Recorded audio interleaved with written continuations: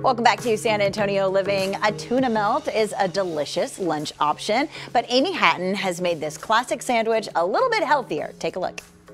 Hi everybody, it's Amy Hatton, the Cooking Mom, back with another recipe. I'm going to show you how I do tuna melts, a little healthier than the old school way when you fry them in butter like a grilled cheese. This is a baked tuna melt recipe and it is so delicious. Makes a great lunch, brunch, or even a nice light dinner. So I started with a big can or two of the smaller cans of tuna, drain them really well. I always get the water packed tuna and then just flake it up. I like adding quite a bit of finely diced celery. For some color, I'm adding some uh, red diced red pepper, which is really pretty in here.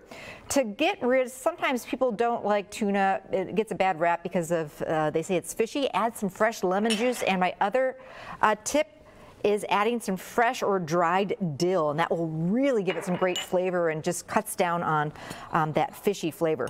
The next thing I'm going to do is I'm going to add some mayonnaise, and I always, I use real mayonnaise, not the salad dressing. Add a couple tablespoons, and you can always add more if needed. So start with a little. I'm seasoning with a little bit of uh, black pepper and some garlic powder or garlic salt. All right, that's gonna give it some great flavor.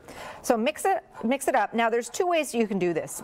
You can uh, get a loaf of French bread and it's if it's kind of the soft, spongy French bread, I pull out some of the innards and then fill the the loaf of the bread with the tuna salad. But if you want to make it even more healthy, you can do this sandwich open face. So basically I took the French bread, I always line my baking sheet with some foil, then pile on the tuna salad, and you can make the tuna salad beforehand, keep it in your refrigerator until you're ready to, to eat these uh, bad boys. The next thing I like, if you're a tomato person, I add some sliced, thinly sliced tomato, and then on top some American or cheddar cheese.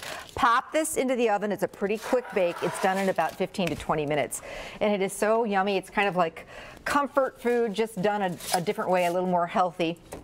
Great with a salad or um, soup, or I love a, a tuna melt or tuna sandwich with some potato chips. And there you go. Enjoy. And as I always say, cook up some memories, and we'll see you next time. Easy and yummy. And you can find more recipes from Amy on our website, saliving.com.